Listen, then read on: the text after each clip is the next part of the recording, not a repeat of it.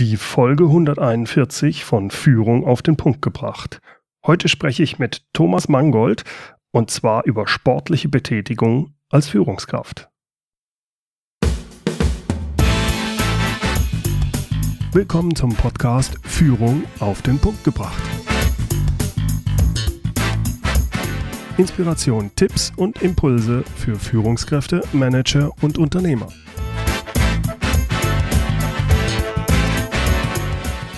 Guten Tag und herzlich willkommen. Mein Name ist Bernd Gerob. Ich bin Geschäftsführer-Coach und Führungstrainer in Aachen. Kennen Sie das auch? Sie nehmen sich vor, mal wieder gesünder zu leben und natürlich gehört da Sport dazu.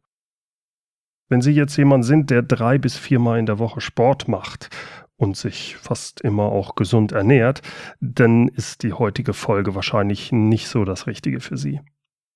Die heutige Episode spricht mir Menschen an und besonders Führungskräfte, die sich vorgenommen haben, etwas ausgewogener zu leben und deshalb auch mit dem Sport beginnen wollen oder wie bei mir wieder beginnen wollen.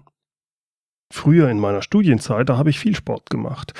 Aber durch die zeitlichen Anforderungen im Berufsleben haben sich meine sportlichen Aktivitäten immer mehr reduziert wie so viele andere auch, äh, da fange ich immer mal wieder mit dem Joggen und mit Rückengymnastik an, besonders wenn es irgendwo zwickt und wehtut. Ich starte dann wieder, vielleicht gehe ich auch mal wieder ins Fitnessstudio und nach so ein paar wenigen Wochen äh, beendet sich die Sache dann auch irgendwie wieder. Und genau über dieses Problem, da spreche ich heute mit meinem Podcast-Kollegen Thomas Mangold. Ich hatte ihn schon mal im Interview und zwar in Folge 60. Damals unterhielt ich mich mit ihm über effizientes Arbeiten und vor allem das Nein sagen. Heute geht es also um das Ja sagen zum Sport. Thomas kommt aus Wien, er ist von Haus aus Sozialpädagoge und heute aber als Online-Solopreneur unterwegs. Er arbeitet als Sport-Mentaltrainer, Blogger, Autor, Coach und auch als Speaker. Hier also mein Interview mit Thomas Mangold zum Thema Sport machen. Thomas, jede Führungskraft weiß zwar, dass man Sport machen sollte, um fit zu bleiben, aber bei mir ist das auch so, durch den stressigen Job und aus diversen anderen Gründen hat man immer das Gefühl, naja, hm, ich habe nicht die Energie oder ich habe nicht die Zeit, Sport zu machen, also morgens früh da aufzustehen und laufen zu gehen, wie das manche machen, oder abends dann noch am Ende von so einem langen Tag nochmal Sport zu machen, da fällt es sehr schwer, sich aufzuraffen. Was sind da so deine Tipps? Wie kommt man dahin, regelmäßig Sport zu machen und sich halt aufzuraffen? Ja, im Prinzip ist es wie jede andere Gewohnheit auch, die man sich antrainieren, anlernen will. Ja. Äh, erster ganz, ganz wichtiger Schritt ist zunächst einmal, sich wirklich mit kleinen Schritten zufrieden zu geben. Ja, also um Gottes Willen nicht gleich um 6 Uhr in der Früh aufstehen, eine Stunde laufen gehen. Äh, das wäre mit Sicherheit der falsche Weg. Das ist Sicherheit, mit Sicherheit der Weg, mit dem man schnell scheitern wird. Weil erstens macht das, wenn man bisher keinen Sport gemacht hat, sicherlich keinen Spaß. Und zweitens überfordert es den Körper, die Muskulatur, die Psyche. Und wie es dann eben so ist, dann lässt man es wieder gut sein. Also ich würde prinzipiell, wenn ich mit Sport beginnen, weil mal mit ganz kleinen Schritten anfangen, zum Beispiel mit Alltagssport oder Dingen, die ich ohnehin mache, nur die mache ich halt anders. Also als Beispiel, ähm, wenn ich zum Beispiel ins Büro komme und ich arbeite im dritten Stockwerk, dann würde ich nicht den Lift nehmen, sondern würde mal die Treppen nehmen. Ja? Mhm, mhm, äh, und, mhm. und, mit diesen Dingen anzufangen. Oder wenn ich mit den öffentlichen Verkehrsmitteln in die Arbeit fahre, vielleicht dann mal eine U-Bahn-Station oder eine Busstation zu Fuß zu gehen. Ja? und dann erst einsteigen. Also wirklich mit, mit kleinen Schritten anfangen und dann das Ganze erst erweitern. Das heißt, da sollte man schon einen kleinen Plan dahinter haben, wie das aussehen soll und klare Ziele natürlich auch, aber auf gar keinen Fall wirklich übertreiben, auf gar keinen Fall ins Fitnesscenter gehen. Es ist ja, ähm, ich bin ja leidenschaftlicher Fitnesscenter-Geher und ich merke das immer so um den Jännerbeginn, also um Jahresbeginn herum, ja. Da ist das Fitnesscenter meistens sehr, sehr voll. Also die schlimmste Zeit für mich zum Trainieren zu gehen, weil da sind die meisten Geräte besetzt, da sind wahnsinnig viele neue Menschen dort. Mitte Jänner wird es dann schon besser und Ende Jänner sieht man dann die altbekannten Gesichter wieder. und das ist natürlich ganz klar, weil die Menschen sich viel zu viel vornehmen. Also wenn man denen dann teilweise zuschaut, die trainieren dann länger als ich, der schon jahrelang trainiert oder mit, mit, mit anderen viel höheren Belastungen als ich. Also das ist zum Scheitern verurteilt. Ich glaube auch gar nicht, dass man zu Beginn überhaupt schon ein Fitnesscenter braucht, sondern man soll einfach mal beginnen, mit dem eigenen Körpergewicht zu arbeiten, wenn man das will, oder eben so Alltagssportübungen mal einzuplanen und das Ganze dann Schritt für für Schritt steigern, ähm, bis man dann eben ja irgendwann ohne weiteres natürlich im Fitnesscenter trainieren kann. Thomas, wenn jetzt jemand, so wie ich, ich behaupte zwar immer, ich mache ein bisschen Sport, weil ich immer mal wieder mit dem Laufen anfange, aber eigentlich, wenn man ehrlich ist, außer mit dem Hund spazieren gehen, tue ich nicht viel. Ähm, wie viel Zeit würdest du mir raten, sportlich sich zu betätigen, jetzt wenn ich also in der Art anfange? Jeden Tag zehn Minuten oder äh, jeden Tag jetzt erstmal für eine Woche lang äh, in den dritten Stock immer hochlaufen oder wie, wie würde der Plan aussehen? Genau, also anfangen würde ich auf jeden Fall mit diesen Alltagssportübungen in den dritten Stock hochlaufen, ein bisschen zu Fuß gehen, ein bisschen spazieren gehen, wenn man gar nichts gemacht hat. Also wenn mhm. jetzt gar kein äh, sportlicher Level da ist, dann würde ich damit anfangen und würde das mal so ein, zwei Wochen machen. Ja? Mhm. Und, und wenn diese ein, zwei Wochen vorbei sind, ähm, dann würde ich sagen, zehn Minuten pro Tag sind vollkommen ausreichend. Es ist jetzt mhm. vollkommen egal, ob das zweimal fünf Minuten, fünf Minuten in der Früh, fünf Minuten am Abend sind. Das ist vollkommen egal. Aber eben um diese Gewohnheit Sport sich selbst anzutrainieren, ist es eben ganz, ganz wichtig, wie du das schon gesagt hast, das wirklich jeden Tag zu machen. Und wenn man das wirklich jeden Tag macht und macht das über 30 bis 50 Tage lang, dann ist diese Gewohnheit installiert und dann passiert sie auch schon ganz automatisch. Dann braucht man sich auch nicht mehr irgendwie daran erinnern, ähm, sondern dann passiert sie automatisch. Also wirklich klein anfangen, 10 Minuten pro Tag sind dafür den Beginn vollkommen ausreichend. Paar Übungen mit dem eigenen Körpergewicht machen und das passt optimal, um äh, wirklich den ersten Schritt in mehr Sport oder mehr Fitness hineinzumachen. Was ist da so deine Erfahrung? Ist das sinnvoll, sich wirklich einen bestimmten Zeitpunkt, also immer morgens nach dem Aufstehen zu nehmen oder was weiß ich, abends vorm zu Bett gehen oder äh, in der Mittagspause oder ist das eigentlich nicht so entscheidend? Es sollte, wenn möglich, natürlich immer der gleiche Zeitpunkt sein. Das mhm. ist optimal. Ja, also optimal hast du schon gesagt, nach dem Aufstehen oder vor zu Bett gehen. Wichtig ist immer bei einer Gewohnheit, wenn ich eine Gewohnheit mir antrainieren will, ist dieser sogenannte Triggerpunkt. Ja? Mhm. Äh, nehmen wir mal eine schlechte Gewohnheit her, das Rauchen. Äh, für das Rauchen gibt es einige Triggerpunkte, so die Zigarette zum Kaffee zum Beispiel oder ja. äh, die Zigarette nach dem Essen oder ja, mehrere Punkte halt. Und genauso sollte man es, aber dieser Triggerpunkt kann man ja auch für, für positive Gewohnheiten verwenden. Ja? Also würde ich hergehen und würde mir sagen, okay, mein Triggerpunkt ist zum Beispiel ja, weiß ich nicht, nach, nach dem Zähneputzen mache ich fünf Minuten Sport und wenn ich nach Hause komme, bevor ich den Fernseher aufdrehe oder, oder bevor ich was anderes mache, mache ich auch fünf Minuten Sport. Ja, mhm. aber da, mhm. diese Triggerpunkte, die sollten dann immer gleich bleiben, weil dann funktioniert es. Wenn ich das immer ändere, wenn ich mal in der Früh, mal zum Mittag, mal am Abend mache, dann wird da nie ein Rhythmus, nie eine Routine reinkommen und dann wird es umso schwerer, diese Gewohnheit sich anzutrainieren. Also ich würde sagen, Zeitpunkt ist vollkommen egal, den kann man frei wählen, mhm. aber wenn man ihn einmal gewählt hat, dann sollte man bei diesem Zeitpunkt bleiben und immer wieder zu diesem, genau zu diesem Zeitpunkt dann das Training machen. Mhm. Jetzt, wenn ich schon ein bisschen weiter bin und so wie ich immer mal mit dem Hund und hin und wieder laufe ich auch mal, was kann ich denn sonst noch zu Hause Sinnvolles tun, bevor ich in ein Fitnessstudio gehe, um mich körperlich zu betätigen oder zum Beispiel, was weiß ich, wenn ich unterwegs bin, Hotel oder sowas. Welche Tipps hättest du da, um sportlich aktiv zu bleiben? Klar, ich kann dort auch irgendwo dann, wenn ich irgendwo unterwegs bin, laufen gehen, aber äh, was gibt's denn sonst noch? Ich würde ich würd eher vorschlagen, wenn ich, gerade wenn ich unterwegs bin, äh, Kräftigungsübungen zu machen. Okay. Ja, das ist meistens wesentlich einfacher, weil wenn man irgendwo hinlaufen geht, ich merke das bei mir selber, ich, ich, ich gehe ganz gern laufen, aber so in einer fremden Gegend, wenn man gar nicht weiß, wo man ist, ist das immer ein wenig schwierig. Mhm. Ähm, prinzipiell kann ich ein paar Übungen empfehlen, die wirklich für Anfänger geeignet sind, die wirklich gut sind und die man, die man eben zu Hause machen kann, ohne dass man irgendwas braucht. Also Sportbekleidung und, und eine Gymnastikmatte wären natürlich ideal, mhm. aber viel mehr braucht man dazu wirklich nicht. Ja, das wären zum Beispiel so Übungen wie der Ausfallschritt oder, oder einfach mal aufs Bett oder auf einen Sessel rauf und runter steigen. Mhm. Ja. Mhm. Kniebeuge fällt mir da noch ein, Liegestütz, ähm, Sit-Ups vielleicht, paar Trizeps, Bizepsübungen kann man ja auch einbauen. Also da gibt es einiges. Äh, das mhm. ist gar nicht, gar nicht so schwer. Findet man auch überall äh, gute Übungen. Irgend einfach im YouTube eingeben, Übungen mit dem eigenen Körpergewicht. Da gibt es genug. Ja. Mhm. Wichtig ist halt nur, dass man die Übungen technisch schon richtig ausführt. Das heißt, man sollte sich schon vorher informieren, sonst kann man da trotz dem man nur unter Anführungszeichen mit dem eigenen Körpergewicht äh, trainiert, schon sehr, sehr viele Fehler machen, die dann eventuell gesundheitliche Folgeschäden nach sich mhm. bringen können. Ja, also ich würde da schon empfehlen, sich da sehr genau zu informieren, bevor man da Blödsinn macht. Ich meine, allein bei der Kniebeuge, wenn ich da das als Beispiel nehmen darf, äh, sollten die Knie nie vor den Zehen sein, wenn ich hinuntergehe. Äh, sonst sind die Knie viel zu sehr belastet, sondern die Knie müssen immer hinter den Zehenspitzen bleiben. Ähm, ja, und okay. so gibt es halt zu jeder Übung ein paar Tipps, die man ganz leicht umsetzen kann, wenn man sie weiß und die eben gesundheitliche Schäden vermeiden. Mhm.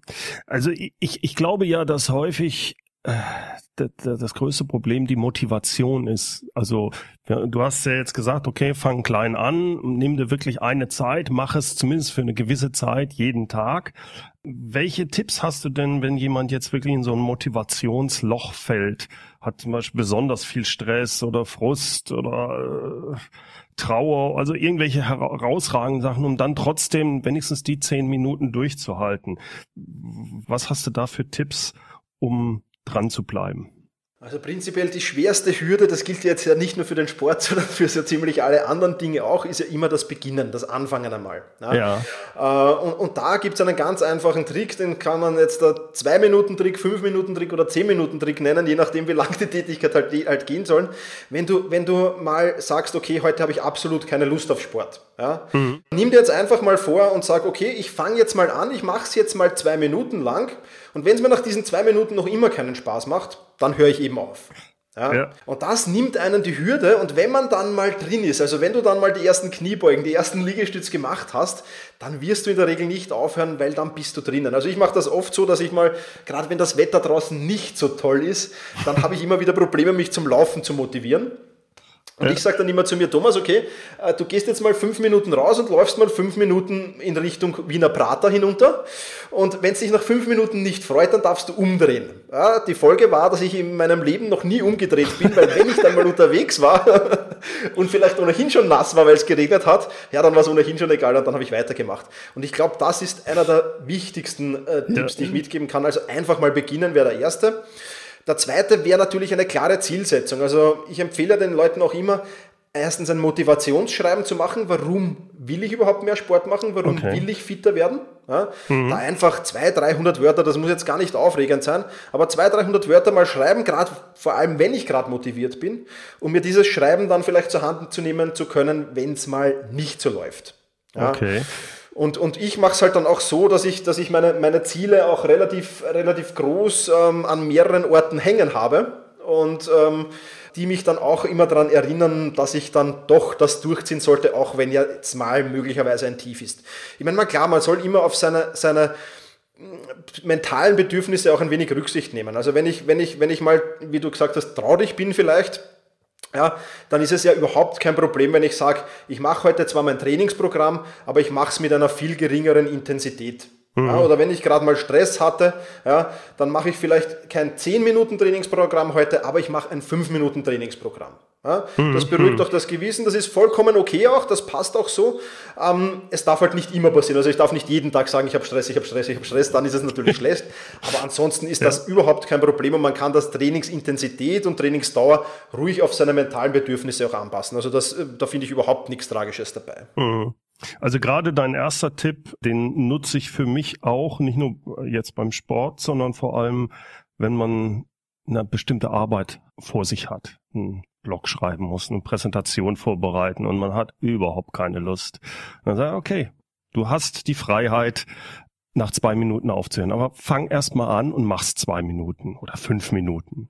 Und du hast absolut recht, normalerweise arbeitet man dann doch weiter dran. Also das zu übertragen auf den Sport äh, finde ich sehr nützlich, glaube ich. Ja, da hast du ja, recht. Ein weiterer Tipp ist vielleicht noch, was, was, was viele Probleme verursacht, ist auch immer, so die Hürde zu starten erleichtert es auch, wenn ich mir die Fitnessmatte vielleicht schon herrichte am Vorabend, wenn ich weiß, ich will am nächsten mhm. Tag äh, Sport machen, dass ich mir da schon vielleicht im Wohnzimmer auflege, ähm, damit ich da wirklich nicht vergesse. Also so kleine Hürden, ich, ich mache das auch immer sehr gerne mit, meinem, mit, meiner, mit meiner Sporttasche, wenn ich Auswärtssport mache, ja. dann, steht die, dann ist die immer voll gepackt und steht im Vorzimmer bereit. Ja? Weil auch wenn ich dann mal daheim bin und mich mal auf, die Couch, äh, auf der Couch gemütlich gemacht habe und, und den Fernseher aufgedreht hat, dann ist natürlich die Motivation ins Fitnesscenter zu gehen gering. Wenn ich aber die Sporttasche dort stehen sehe und, und die gleich zur Hand nehmen kann und wieder weiter wandern kann oder die vielleicht gleich auf zu meinem letzten Termin mitnehmen, mhm. dann tue ich mir dann natürlich viel, viel leichter, das ist klar. Ja, nee, das leuchtet mir ein. Sport ist ja die eine Geschichte, es muss aber auch irgendwie gekoppelt sein mit einer vernünftigen Ernährung, will ich wirklich langfristig fit sein und fit bleiben. Was sind da so deine Tipps gerade für Führungskräfte, die ja auch häufiger mal zum Essen eingeladen werden? Und äh, da gibt's dann halt nicht nur den gesunden Salat, sondern ein paar sehr schöne Sachen. Also ich bin da sehr für die äh, bei den äh, Nachtischen immer gefährdet. Was sind da so deine Tipps, worauf sollte man achten? Ja, Ernährung ist, glaube ich, ähm, wird viel zu schwer dargestellt, als es eigentlich ist. Äh, du, du, oh, Moment, du kennst diese Nachtische nicht. okay, beim einen oder anderen Nachtisch vielleicht. Aber wenn ich ab und zu mal einen, einen Nachtisch zu mir nehme, dann ist ja das auch überhaupt kein Problem. Also das ist, es, es gilt ja nur die Regelmäßigkeit. Also wenn ich jedes Mal den wunderbaren Nachtisch in der Firmenkantine esse, dann ist das wahrscheinlich nicht so optimal. Wenn ich das ein oder zweimal die Woche mache, wenn ich wirklich zum Essen eingeladen bin und wirklich in einem guten Restaurant bin, dann bitte genieß doch deinen tollen Nachtisch. also das ist überhaupt kein Problem. Prinzipiell bei der Ernährung muss man auf ein paar Dinge achten, die man, die man, die man ähm, nicht machen sollte. Ja? Also man sollte zum Beispiel keine Kalorien über Getränke zu sich nehmen oder nur selten. Mhm. Ja? Das heißt, gesüßte Getränke, Alkohol, Energy Drinks, das ist ja natürlich nicht so optimal. Äh, hingegen Wasser, Tee, schwarzer Kaffee oder Zitronenwasser oder was auch immer, das ist überhaupt kein Problem, wenn man das mhm. trinkt. Also Kalorien über ähm, Getränke zu sich zu nehmen, das ist vielleicht nicht optimal. Mhm. Und dann gibt es ja wahnsinnig viele gute Beilagen, die man alle zu sich nehmen kann. Also zum Beispiel Reis, Kartoffeln, Vollkornnudeln, Vollkornbrot, Salat, Gemüse, Couscous. Hülsenfrüchte, was es da auch immer gibt, fällt mir jetzt nicht alles ein. Aber das sind ja auch alles tolle Sachen und es mussten ja nicht immer die Pommes oder, oder das mhm. Weißbrot oder, oder Zucker- und fetthaltige Soßen sein. Also das äh, kann ich noch empfehlen. Genauso bei den Hauptspeisen. Ja? Es spricht ja nichts gegen einen guten Fisch, Geflügel, Rind, Eier, Gemüse, das ist alles super. Ähm, äh, kann, man, kann man super zur Ernährung meinen. Und dann gibt es natürlich auch beim Dessert, weil du es angesprochen hast, da ist halt eher auf der schlechten Seite Kuchen, Torten, Mehlspeisen, frittierte Speisen. Das sollte man eher darauf verzichten. Aber es gibt ja auch Obst, Joghurt, mhm. Quark, mhm. Nüsse, die man da zu sich nehmen kann. Also man kann sich schon gesund ernähren und auch gut ernähren. Ich glaube, dass das funktioniert. Man muss halt ein bisschen verzichten, vielleicht würde der Wiener sagen, ähm, und, und auf ein paar Dinge verzichten. Aber wie gesagt, wenn man ein oder zweimal die Woche ein bisschen über die Stränge schlägt, dann wird das auch nicht weiter tragisch mhm. sein. Ich meine, ich glaube, man muss da immer unterscheiden, will ich fitter werden, will ich, will ich ein bisschen ausgewogener leben oder will ich Profisportler sein. Ja, also mhm. das ist dann nochmal ein Unterschied. Wenn ich ein Sixpack bekommen will, ähm, dann äh, darf ich die Nudeln nicht einmal von der Entfernung ansehen. Aber ja, ich glaube, das ist jetzt nicht unbedingt das Ziel jeder Führungskraft, sondern es geht Nein. einfach darum, fit für den Job zu sein und, und, und da wirklich über längere Zeit produktiv arbeiten zu können. Und da spielt Ernährung halt schon eine große Rolle, weil wenn ich mich da wirklich gut ernähre, dann äh, fördert das natürlich auch die Produktivität, die Konzentration mhm. und vieles, vieles mehr. Also ähm, Ernährung kann man natürlich viel machen, auch ohne groß verzichten zu müssen, sage ich jetzt mal. Mhm. Thomas, du hast mit einem Kollegen jetzt vor, eine sogenannte Fit for Office Challenge zu machen. Vielleicht kannst du uns ein bisschen näher erläutern, was sich da genau hinter verbirgt. Ja, genau. Also wir starten jetzt demnächst die Fit for Office Challenge. Mein Kollege, das ist der Julian Resch, der ist Personal Health und Fitness Coach. Mhm. Ich bin Sportmentaltrainer, so teilen wir uns das ein wenig auf. Und ähm, ja, in dieser Fit for Office Challenge wird es einfach darum gehen, Leute, die sich eben wenig bewegen, die, die, die kaum Sport machen, kaum Bewegung machen, die wirklich ein wenig dazu zu motivieren, das, was wir ganz am Anfang unseres Gesprächs ja. besprochen haben, ein wenig zu motivieren, Alltagssport zu machen, ein wenig zu motivieren, sich richtig zu ernähren, unter Anführungszeichen jetzt. Also wir wollen aus niemandem jetzt einen, einen Gesundheitsapostel machen, um Gottes Willen, sondern einfach so ein bisschen einen Schritt in, aus, in die Richtung Ausgewogenheit machen.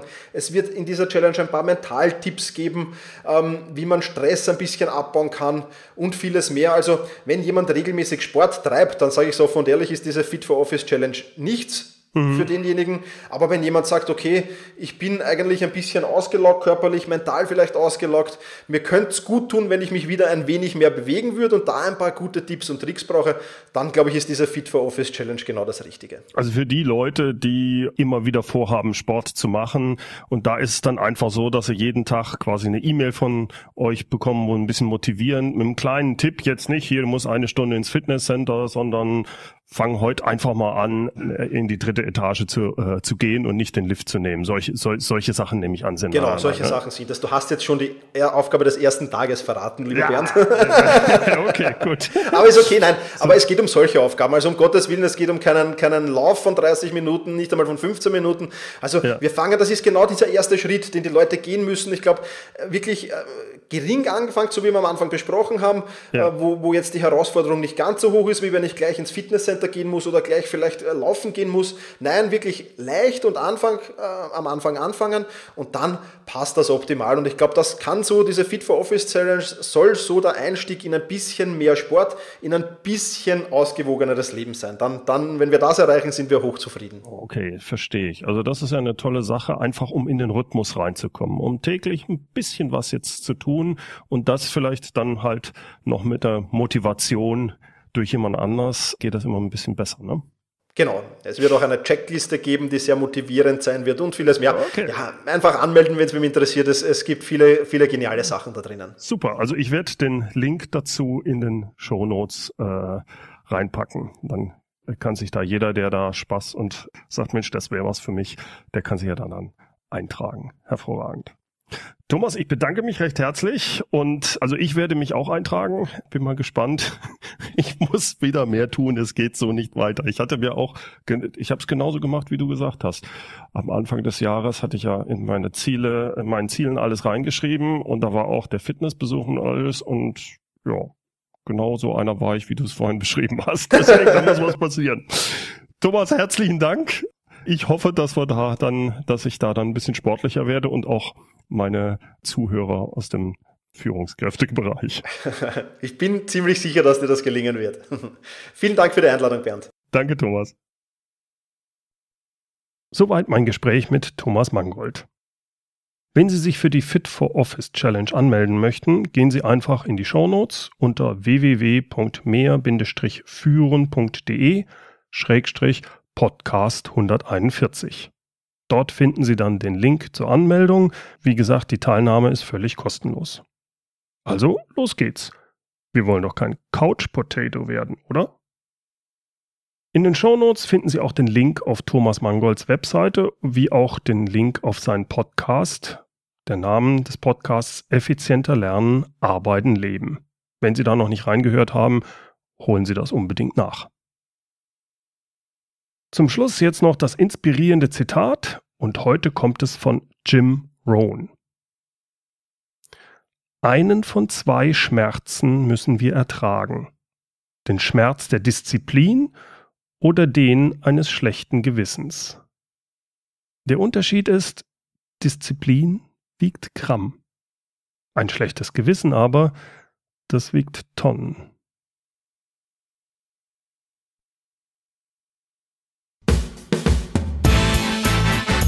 Herzlichen Dank fürs Zuhören.